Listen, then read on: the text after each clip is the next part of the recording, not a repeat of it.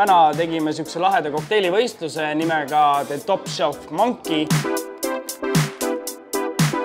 meie kaunid baarmanid tegid omaenda kokteili. Less is more for me, so that's my magic, that's my go-to move.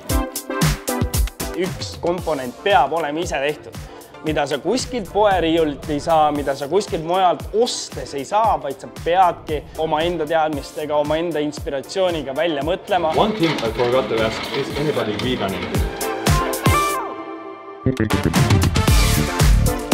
kordial, gemüüse, sa praed seda, sa teed seda suuviis, mida iganes iganes ilm soovib ning oli ka teisi komponente, mida sa tohtisid kasutada, aga ei pidanud.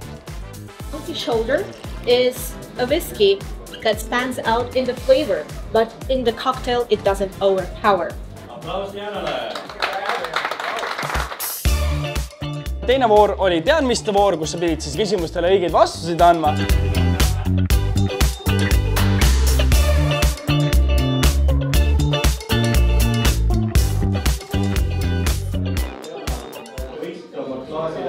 Maybe some music on, no? kolmel erineval äh, portfe- äh,. kolmas oli siis speed round, mida kiiremini sa saad oma külalisi teenindatud, seda parem on.